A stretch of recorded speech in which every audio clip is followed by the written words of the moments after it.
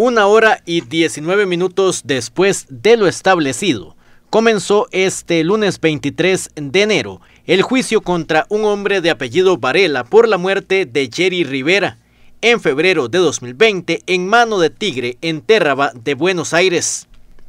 El debate comenzó con la lectura de la acusación por parte del Ministerio Público. El ofendido Jerry Helmut Rivera Rivera como la efectuada en perjuicio de la coofendida coofendida Melissa Garbanzo Gutiérrez, la ejecutó el acusado Varela Rojas utilizando el arma de fuego tipo pistola marca Daywood modelo DP51 calibre 9 x 19 milímetros serie 07895 inscrita a nombre de Luis Alberto de Los Ángeles Vargas Valverde. Además, el endilgado Varela Rojas ni registra ni cuenta tampoco con permiso para portar armas de fuego. Esos hechos se calificaron como un delito de homicidio calificado según el numeral 112, inciso 5 del Código Penal, en perjuicio de Jerry Helmut Rivera Rivera, ilícito cometido en calidad de autor por parte de Juan Eduardo Varela Rojas, un delito de amenazas agravadas según el artículo 195 del Código Penal en perjuicio de Melissa Garbanzo Gutiérrez, delincuencia atribuida en calidad de autor a Juan Eduardo Varela Rojas, y un delito de portación ilegal de arma permitida según el artículo 88 de la ley 7530 en perjuicio de la seguridad común y otro conducta atribuida a Juan Eduardo Varela Rojas en calidad de autor. Gracias. Gracias. Licenciado representante de la parte que la parte querellante también puso como prueba un video que trascendió el año pasado como parte de su argumento acusatorio. Esta representación eh, desea realizar el ofrecimiento de eh, prueba para mejor resolver de conformidad con el artículo 355 del Código Procesal Penal, eh, en virtud de que en agosto del año pasado, en una eh, convocatoria pública y que trascendió por medio de distintos medios de comunicación, el imputado Juan Eduardo Varela Rojas reconoció públicamente haber matado a Yari. prácticamente podríamos decir que se jactó en virtud de la forma en la que fue hecha esta manifestación.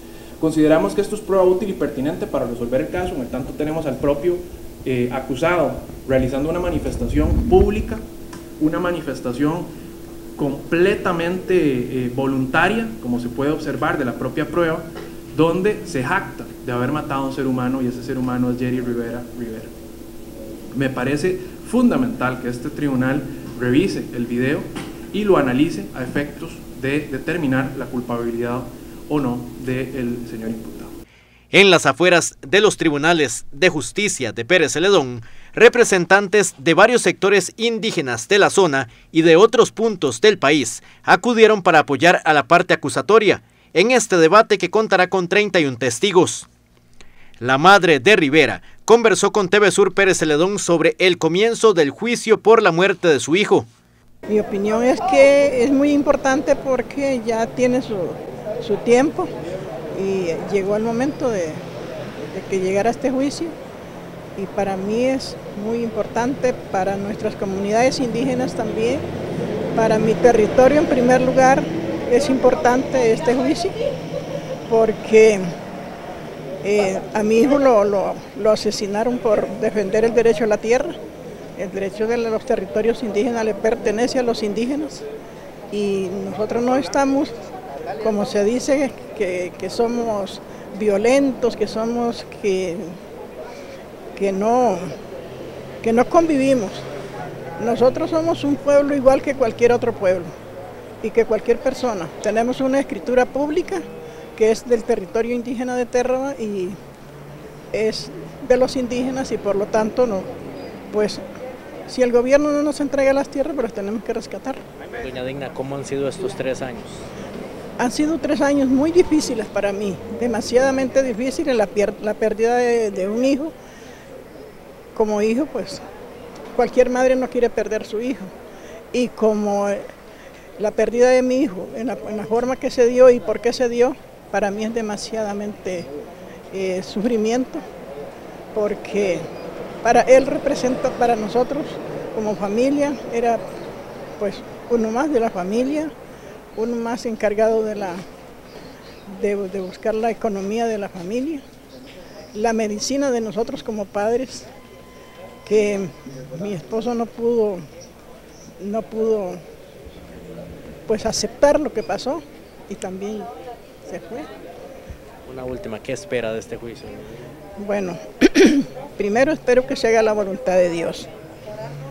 Y segundo, quiero que si Costa Rica de verdad vivimos en un país democrático, que se cumplan los convenios internacionales y en esto, exactamente, y en este juicio, que haya justicia, que haya, que esté la verdad por delante, que no estén este, queriendo decir que, que a mi hijo lo mataron en un pleito callejero porque no lo es.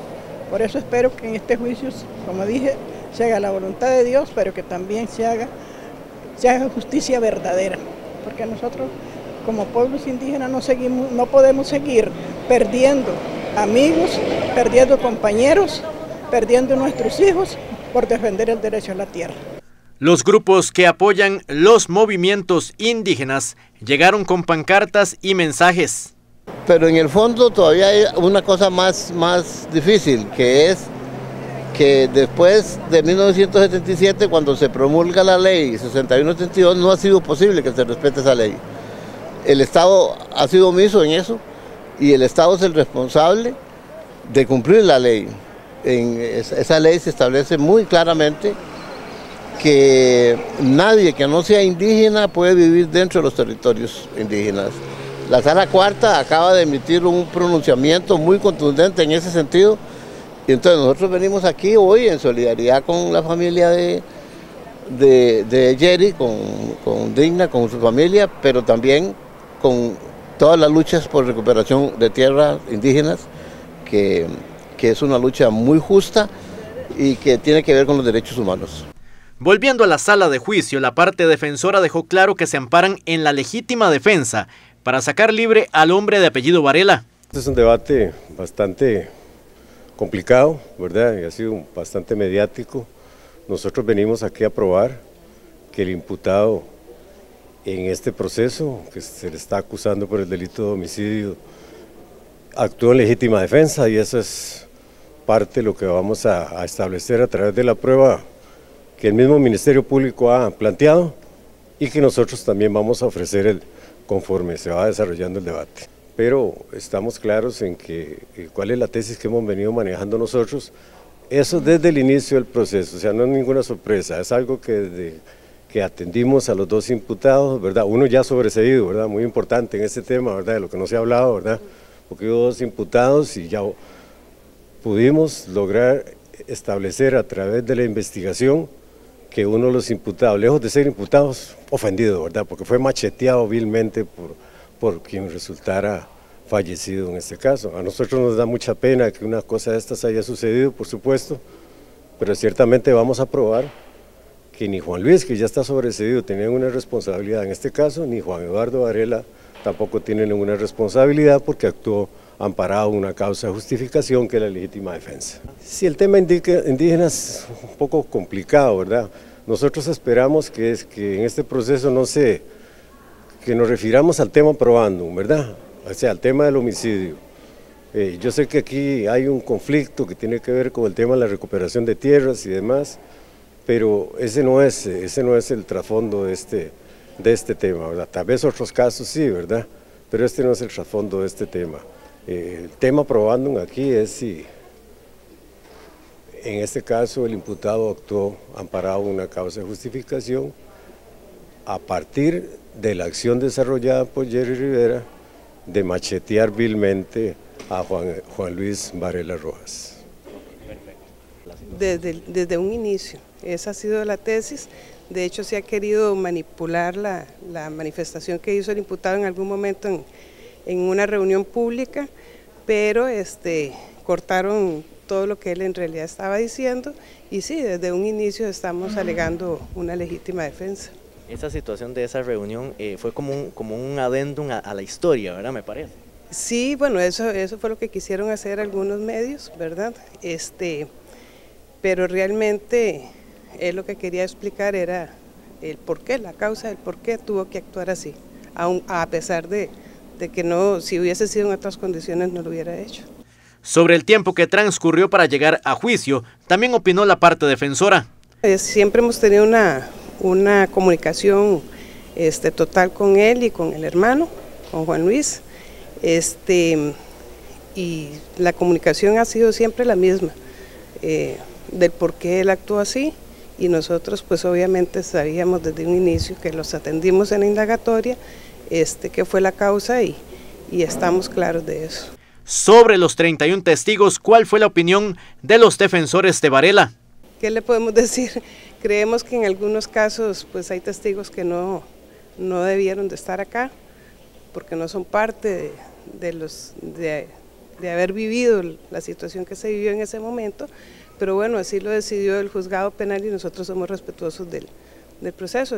Ya ahora en el tribunal pues veremos cómo, cómo vamos a enfrentar esos, esos testigos.